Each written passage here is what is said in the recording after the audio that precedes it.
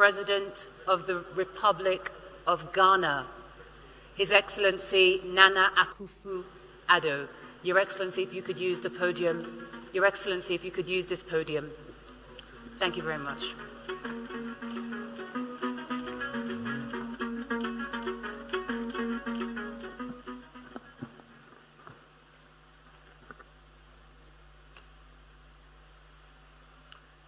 Your Excellency, President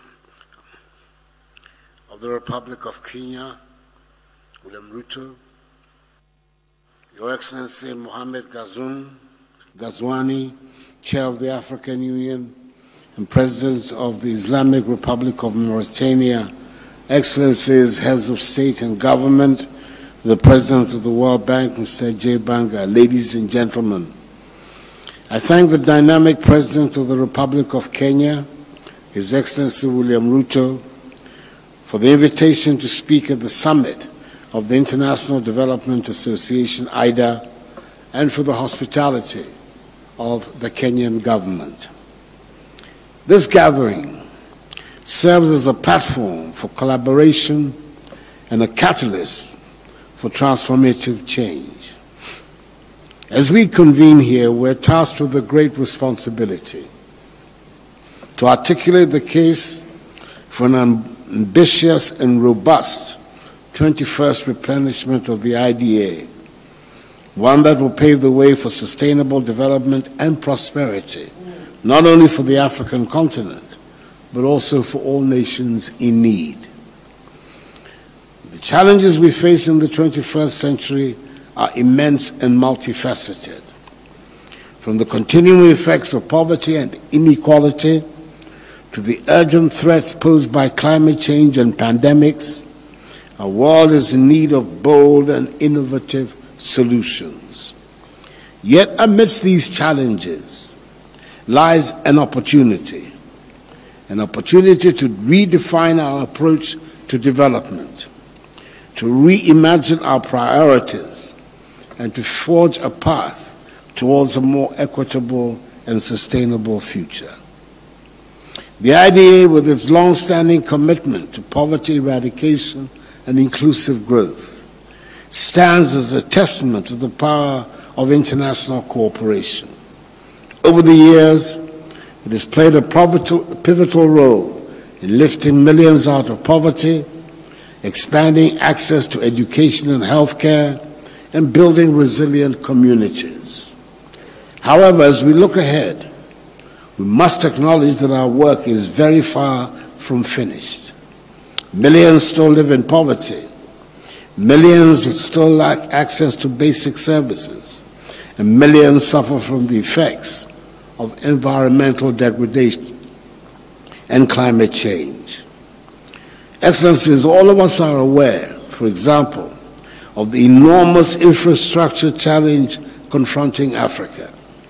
The African Development Bank, AFDB, estimates Africa's infrastructure needs at between 130 to 170 billion United States dollars annually, with a financing gap of between 68 billion and $180 billion annually.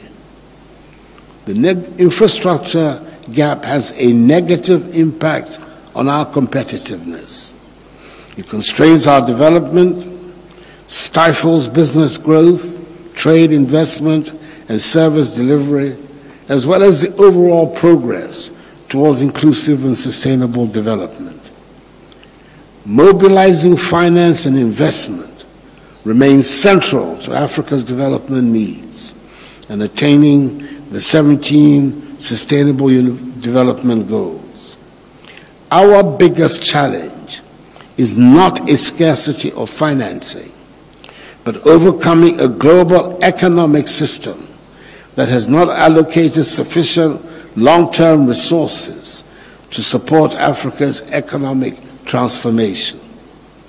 That is why boosting the resources of the IDA, whose ability to generate concessional financing reflects, represents an effective way to respond to the obstacles that African countries encounter in the present global system is so critical for the prospects of Africa's development.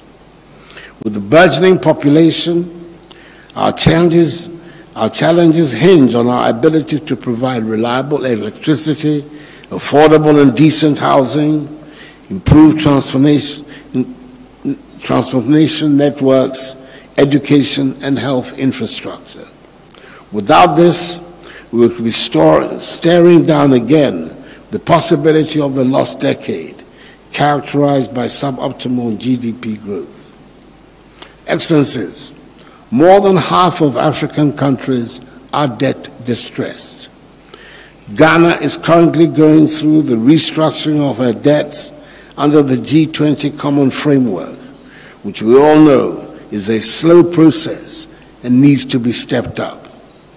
At the same time, we're suffering from the increasing effects of clim climate change and the devastations caused by COVID 19 and other adverse global developments. Doubling IDA to provide more concessional facilities to our countries is of utmost importance to help us cope with these challenges.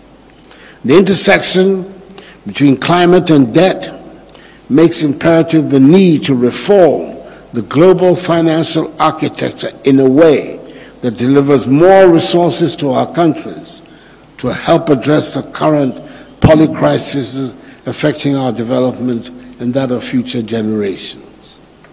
Therefore, the time has come for us to redouble our efforts to recommit ourselves to the principles of solidarity and shared responsibility, and to unlock the full potential of the IDA. This replenishment presents us with a unique opportunity to mobilize resources, to leverage partnerships, and to scale up our impact.